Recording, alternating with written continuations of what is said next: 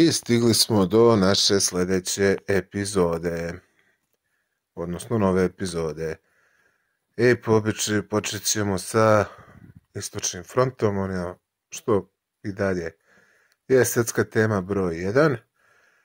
Ništa se tu posebno nije dešavalo poslednjih dana, e, raste broj ukrajinskih snaga koje se predaju, vrši se četvrti talas mobilizacije, ali u suštini svi čekamo tu bitku svih bitaka, to veliko finale na jugoistoku, sad možda najverovatno je možda sad već pitanje i sata, a ne dana kada će isto da počne. Mislim, Ukrajinci njoj nema nikakve šanse i dobro su utruđeni, mogu duže da pružaju otpor, ali tehnika im je po prilici razbijena. Tako da vidjet ćemo, mislim, ipak treba probiti sav taj armirani beton. U svakom slučaju, rad se nastavio, razuma za potpisivanje predaje i dogovora nema i nažalost sigurno će kad se ovo sve završi ovo biti mnogo krvavije nego ratovi na prostorima bivše Jugoslavije. Istovremeno se tu situacija komplikuje zato što neutralna Finska i Švedska najavljuju ulazak u NATO, Rusi su koncentrisali deo snaga na severu i okrenuli su rakete prema njima. I verovatno neće biti dovoljni ljudi da pristupe NATO vojnom savezu. Ali dobro, mislim, nikad se ne zna kad krene takvo ludilo i histerija, onda možda nekad razum i može da izgubi. Ali dobro, nadamo se da neće. U svakom slučaju tu nisu članice NATO i Rusije da tamo vojno interveniše, ništa se ne bi desilo. Paralelno sa tim na Tevanu se prave neka nova skloništa i dele uputstva šta raditi u slučaju kineske invazije. Sad, da li će nje stvarno da bude teško reći, mislim, bi možda neko ko zna kineski ko je ko je sposoban da više toga iščita iz tog regiona na njihovim maternim jeziku, znači jedni i drugi su kinezi, mogao bolje da rastumači i da zna.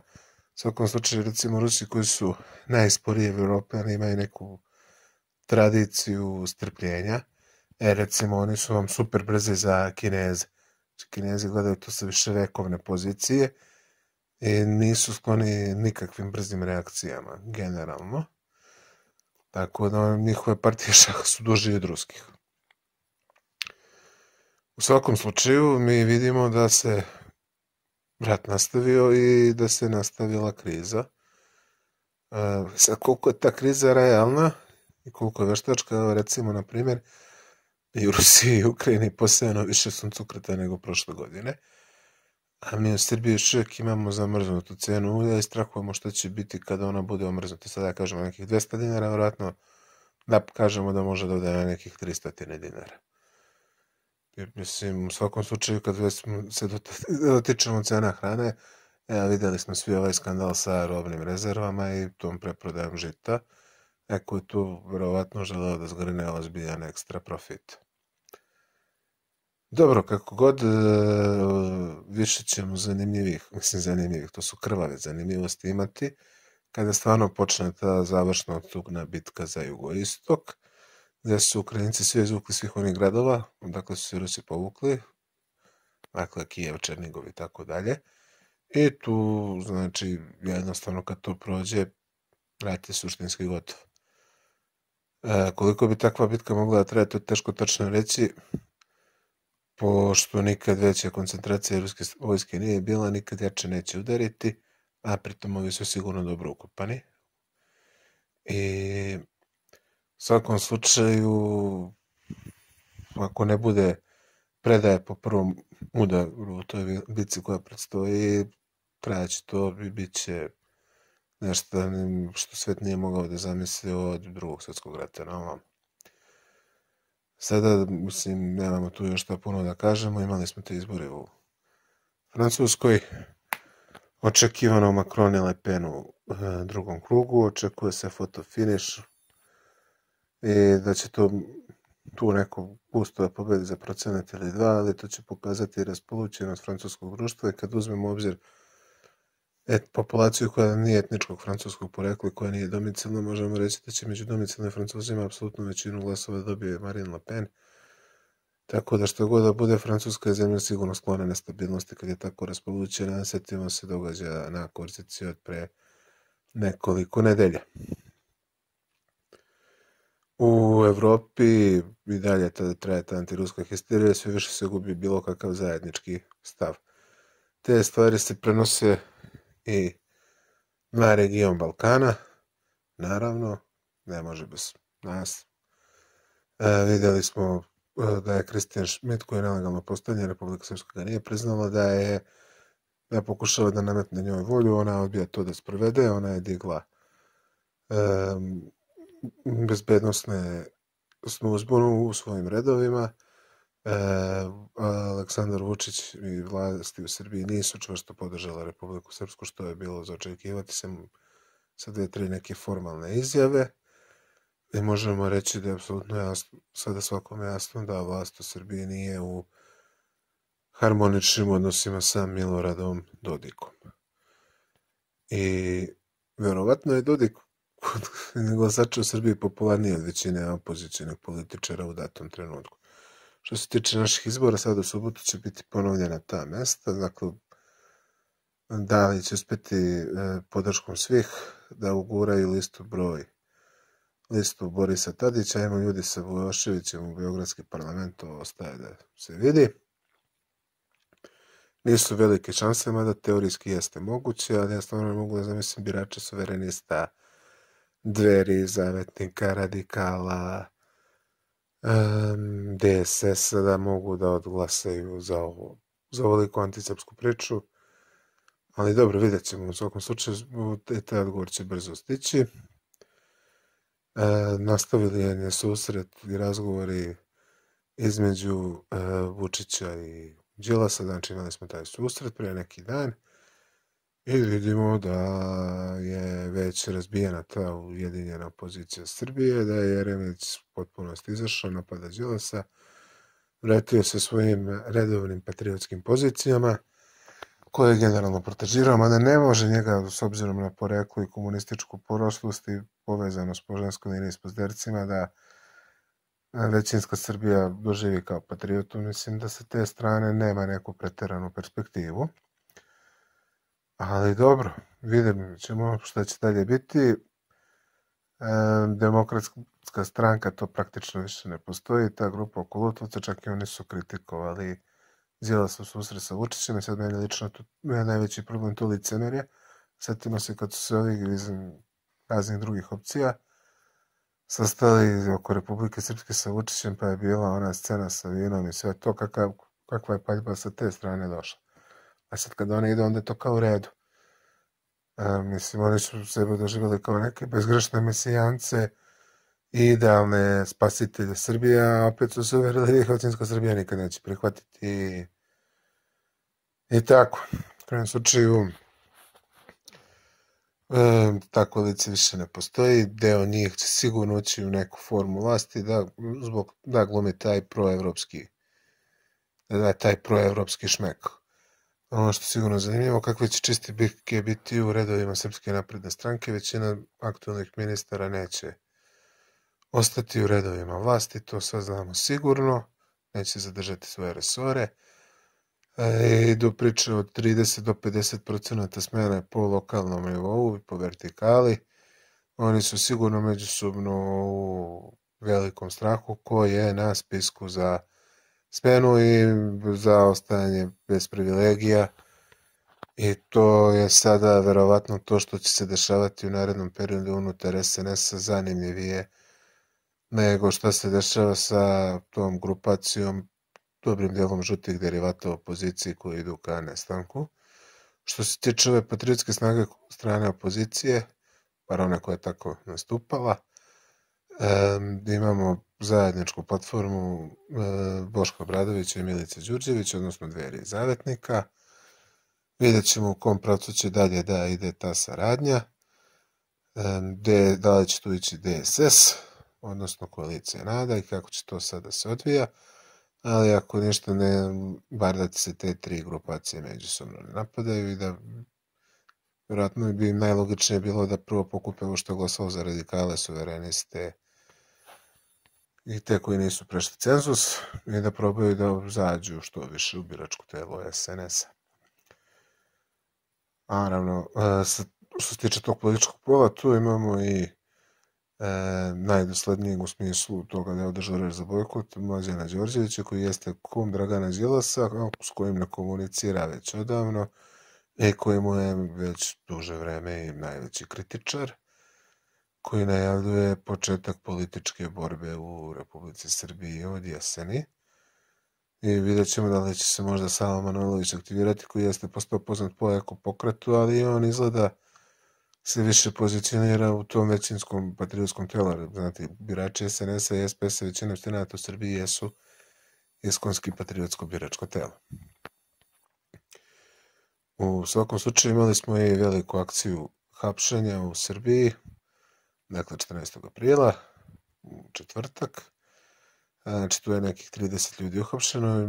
Najpoznatiji ime je sigurno Darko Šalić i ovaj advokat Lazarević koji zastupa i njega i Veljka Belivuka. Tu je i ovaj Uroš Mišić, sećate se onog pravda za Uroša uhapšeni navijač zvezde.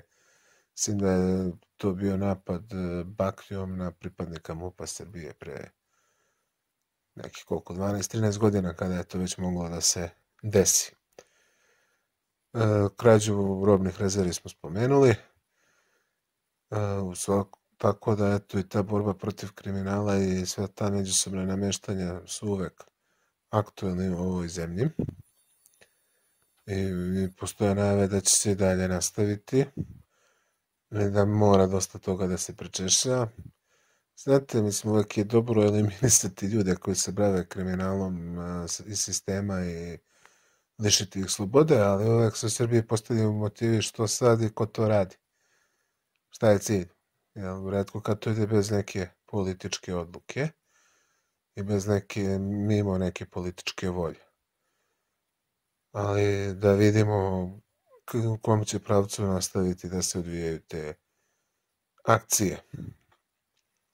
Po što se tiče formiranja ove nove vlade, ne mislim da pre kraja avgusta to nije realno da se desi, da nije realno da se ide na ponavljanje izbora, jer narod je prvi put video da su u padu i da stisak e, Srpske napredne stranke slabi. E, tako da vidimo da sve patriotske snage koje su sada u parlamentu sigurno neće ulaziti u vlast, jer ako tu, čak i ako ima nekih dogovora sa sa vladajućom garniturom, oni su svesni da iz opozicije mogu samo da rastu i da će njima je vjerovatno SPS-u moći da prilaze e, novi, odnosno otpali glasači Srpske napredne stranke.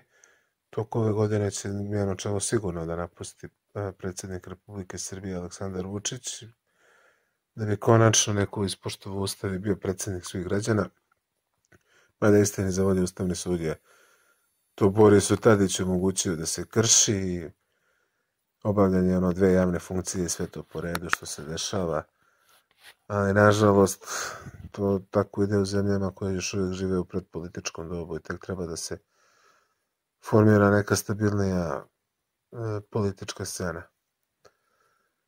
Tako da zato imamo i te neprirodne koalicije na svakom nivou, mada evo ja iskreno lično mene sam godinama unazad ubeđen da postoji neka vrsta saradnje i dogovora između Vučića i Đilasa i da to traje verovatno još iz vremena dok je Aleksandar Vučić bio generalni sekretar Srpske radikalne stranke. Naravno, eto, već prolaze vreme i niko od ovih, makar što su pali cenzus, se ne osjeća moralno odgovorim da podnosi ostavku. To je verovatno bilo izočekivati. Dobro, podneo je ali, Vojislav Šešelj, mada će stranku praktično da preda sinu. Sad pitanje je koliko to zbog izbornog rezultata, koliko zbog realnog zdravstvenog stanja. Što se tiče nekih još zanimljivosti, imali smo tu događaj među bošnjačkom ili muslimanskom manjinom, a da suštini to su potomci Srba koji su se točili. Dakle, imamo izjavu porodice pokojnog Muamera Zukorlića da je on bio otrovan i tužilaštvo koje je nadležno je naredilo eskumaciju tela. A imali smo i nesreću u kojoj je bio kao suvozač Rasim Ljajić, dakle vozač je poginuo, isto funkcioner i političar njegove stranke, a u toj smrskanoj škodi, kako je objavljeno prema izveštajima, bilo je preko 2 miliona eura, I sada tu na tom prostoru ali deluje još jedan odnosno pored muftije koga je nasledio sin i Rasima koji više bio nekako građanska opcija koja se proširila i van e, Raške oblasti tog tehla naseljenog muslimanskom populacijom, odnosno gdje ona koncentrisana je i Sulejman Ugljenin, za koga se svašta priča oko i albanskog porekla i činjenice da se spominje kao saradnik albanskih službi i organizacija. Sad kakve su tu igre, kakve su tu ima veze, mi bi mogli do sutra da teoretišemo o, o raznim teorijama sa elementima zavere, ali bez pravih informacija u to se stvarno ne treba upuštati. U Srbiju je stiglo novo oružje, VK sistemi, ovi kineski, dakle to su kineske verzije S-300 sistema. Vidjet ćemo da li će stići S-400 iz Rusije.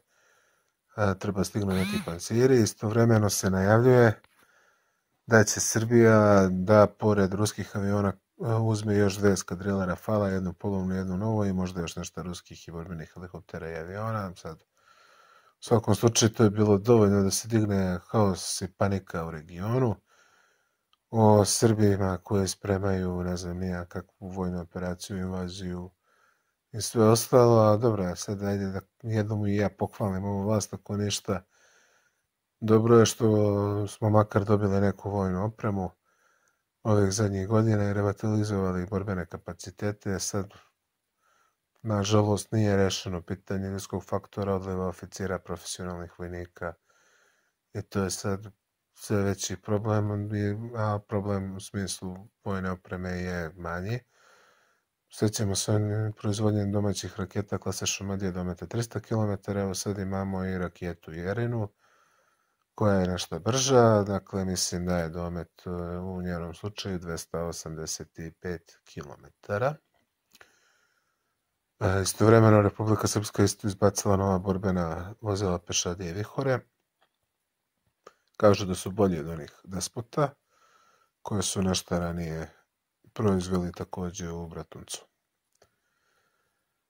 U svakom slučaju e, nastavlja se ova neka predstava za javnost koja će sada traje vezano oko verifikacije Skupštine, oko e, mandata, oko formiranja nove vlade, mada oni sigurno neće da žure.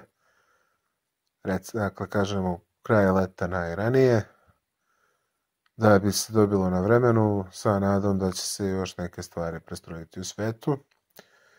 Svi čekamo da za par nedelja istekne zamrzavanje cena na ulju, brašnu, svinskom butu i da li tu još nešto ima na uh, listi kako se zove, e, tih zamrznutih namirnica, među vremenu vidimo da cene svejedno svega ostalog otprilike skaču, da iako su normalizovane cene e, naftnih derivata na svetskom tržištu, da ne vidimo pad na pumpama ne samo u Srbiji nego i širom Evrope.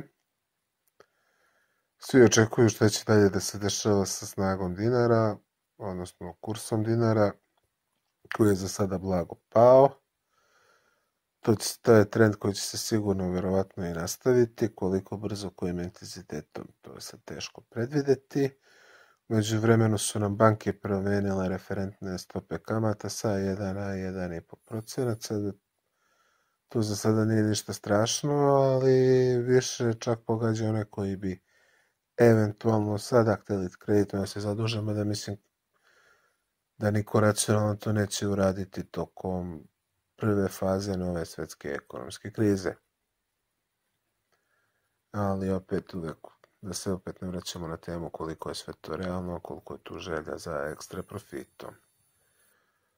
E, očekuje se na nivou Evrope pad e, BDP-a u svim zemljama, negde manje, negde više i očekuje se dalji rast cena.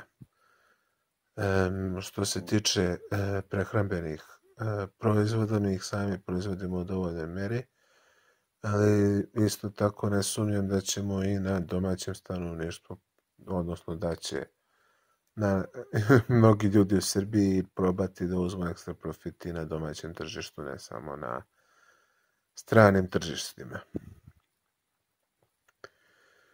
Um, tako da, te sad teško je tačno sve to izračunati, ali negde već početkom leta ćemo moći da preciznije vidimo za koliko nam je opala realna kupovna moć, a verovatno će na jesen da se i kriza produbi i e, vidjet ćemo kako će veći efekte da imaju ove nove mere fiskalizacija, koliko će to kažemo sitnih piljara um, onda ovih pijačnih prodavaca i ostalih da izbaci iz posla. Zato ima neke prednosti vezano za punu regulaciju tržišta, ali opet sa druge strane u datim trenucima su veće šanse da se obije o glavu i da poveća sivu ekonomsku zonu. I to je sad najveći problem, kad god krenu teška vremena, raste siva ekonomija svuda. I neke scene koje smo čak i mi krenuli da zaboravljamo iz nekih prošlih vremena su krenula da se dešavaju u Evropi. Mislim, ljudi su čak iz Nemačke preko prelazili Poljsku da stignu u Belorusiju. Da nabave neke zalihe. Mislim, u Belorusiju za Boga. Ljudi iz Litvanije to već rade redovno. Ljudi iz Poljske, e, dalje Evropa, e, se takođe, bu, znači sve više tih protesta koji su protiv zvaničnih vladajućih politika no, u Grčkoj su u suštini sprečili da grčka vlada bilo šta pošalje. Dakle, u ukrajinskoj strani imali su i Slovačkoj taj neku vrstu proruskog protesta. 15. aprila u petak, dakle mi osnovno imamo nešto pre toga, imat ćemo i ponovno protest u Beogradu, za koji ja opet ne sumnjam da će biti veći od bilo čega što je bi mogla neka opozicijna organizacija da iznese u ovom trenutku. Što se tiče tih protesta, podržali su ih na kleve tri e,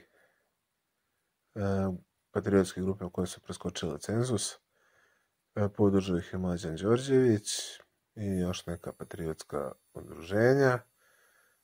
E, i ali ne, nisu se posle predstavili kao organizatori i rekli su da neće dakle, nositi svoje stranačko obeležje, što je skroz u redu, jer stranačko obeležja potencijalno mogu samo da smanje prisutan broj ljudi.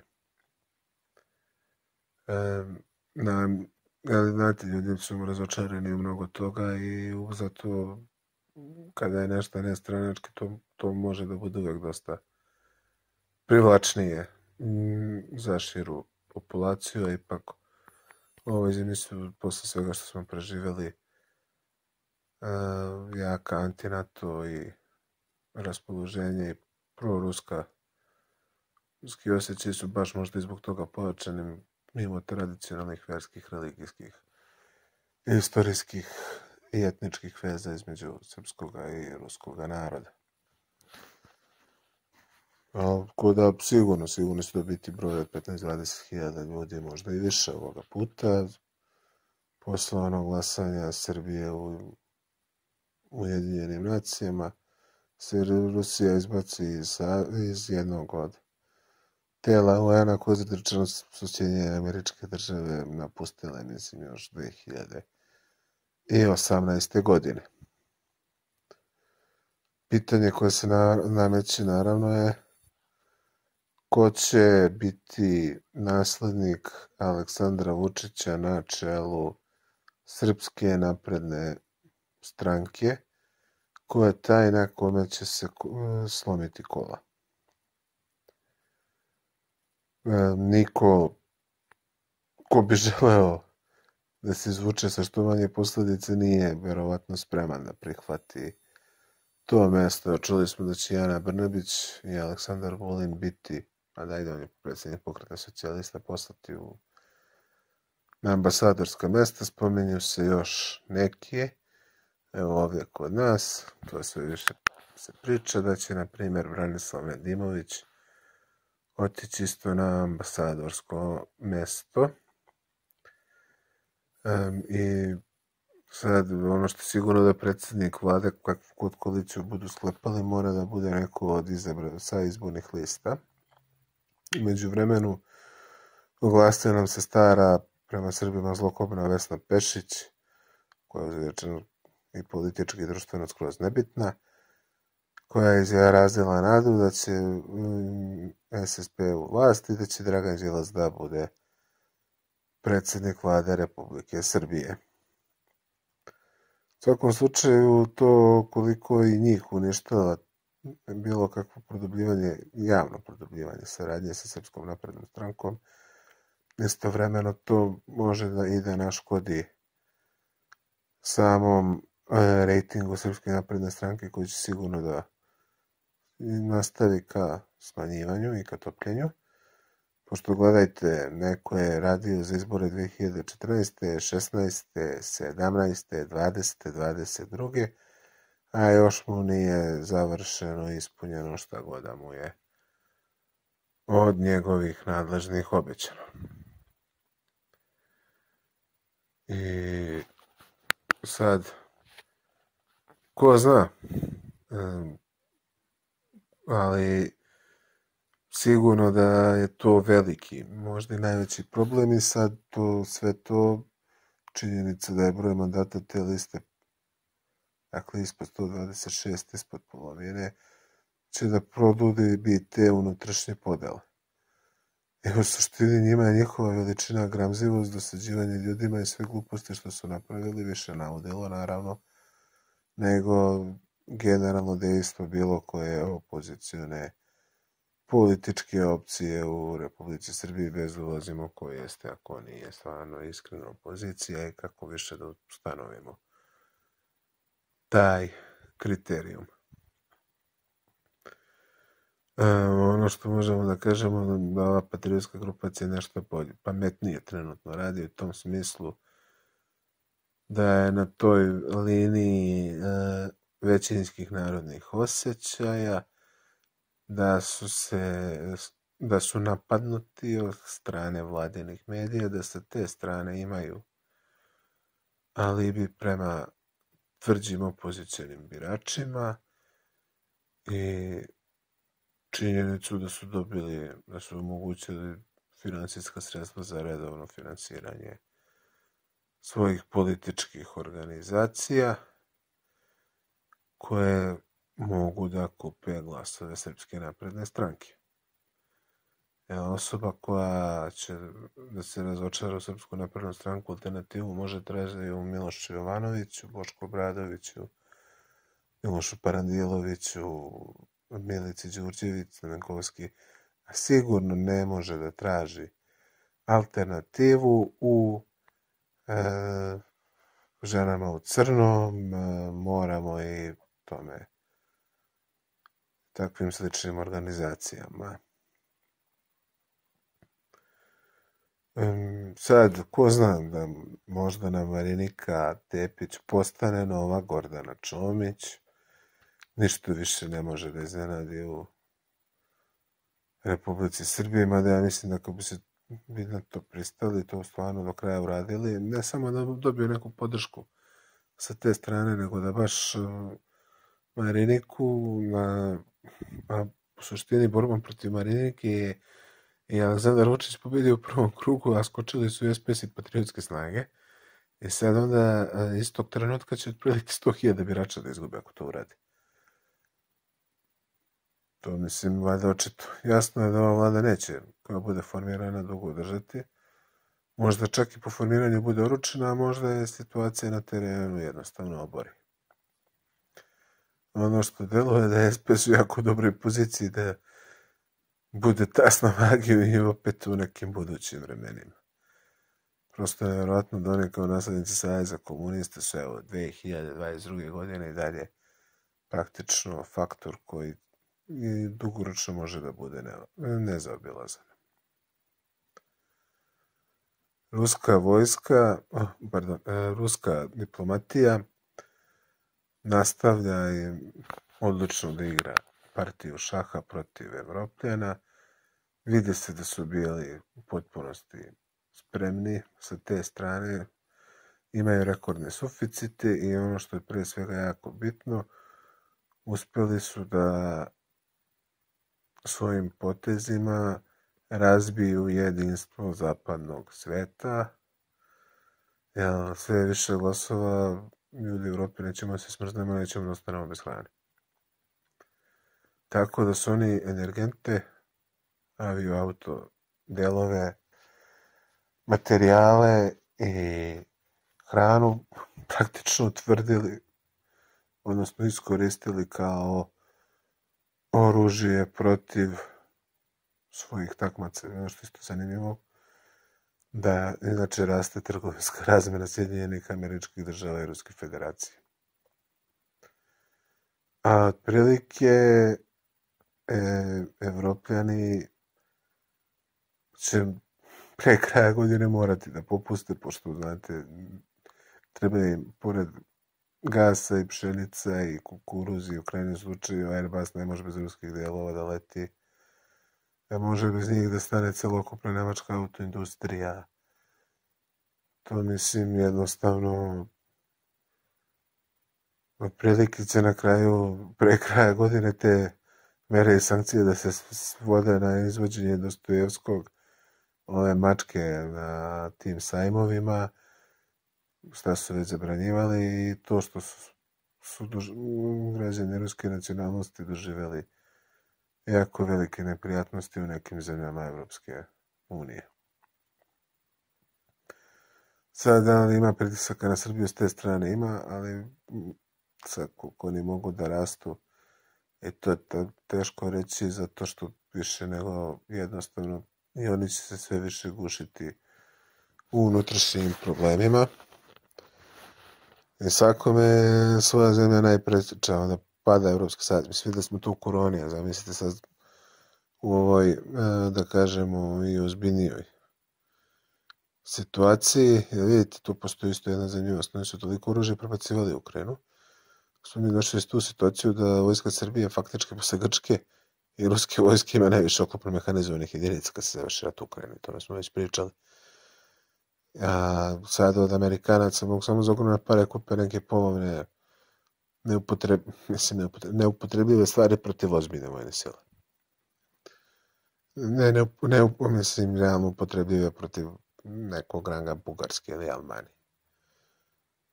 U Bugarskoj se izgleda unutrašnja situacija privremeno smirila, ali tinja i dalje. Naravno, Albanci prete, spominju neki rati da će NATO da ih brani, ali ja mislim da ne znam, mislim, verovatno i oni tu sakrivaju neke svoje unutrašnje probleme, na primjer činjenicu da nemaju struje, između ostalo. E, koliko je to sve jako nestabilno, mislim, čitava Evropa i koliko je bilo glupo živeti na kredite, to sad vide širom kontinenta, nažalost, verovatno morat će da vide i građani Republike Srbije. Evo recimo Francuska ima praktično izjednačeni i dug i BDP, znači to je nekih 2700 milijardi eura. Što je jako loše u ovim kriznim vremenima biti toliko zadužen, a pritom je imela tako dobro ide sa tim sankcijama da je rublja na istorijskom maksimu.